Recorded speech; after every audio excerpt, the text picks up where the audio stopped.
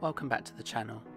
As some of you may have seen in my previous video, this is part 2 of my LEGO plates collection. If you haven't seen part 1, please check my channel and have a watch.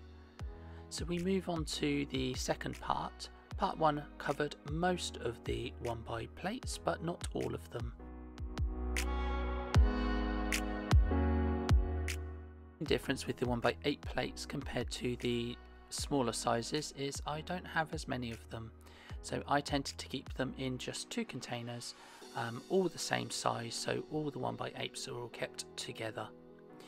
You will see that I have two containers all together and I keep them separated by shades, so the whites, greys and black, and then the colours, the cool colours and then the warm earthy colours kept together.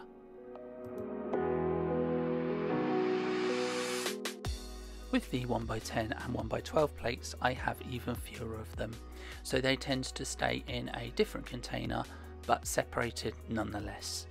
This helps me to find them when I need them.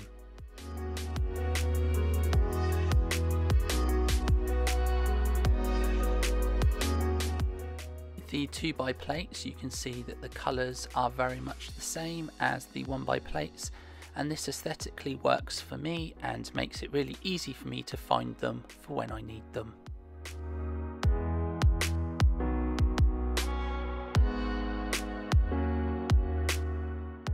You can see here what I class as the common colours, which is the basic LEGO colours that I seem to have the most of and these are all organised and stored exactly the same way, making it easy for me to find. We can see here that I keep the 2x2s at the front of the container and then just behind those I keep the 2x3s and behind those I keep the 2x4s. So it's just a very easy way for me to see exactly what I have.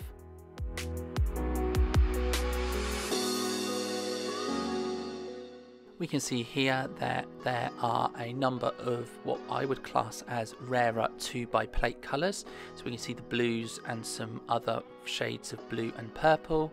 We can see here that we have the dark and light greens. And we can see here that we have various shades of browns and reddish browns, all kept individually. And I do have an overflow of parts in the 2x plates such as these colours here, I tend to keep them separated, making sure there's enough in here to use but not overflowing. So what can we expect in part 3? Well, part 3 should cover the larger 2x plates, such as the 2x6 and greater. I will also try to show you the odd shaped plates as well, such as the corner plates. Thank you very much for watching. Please like and subscribe.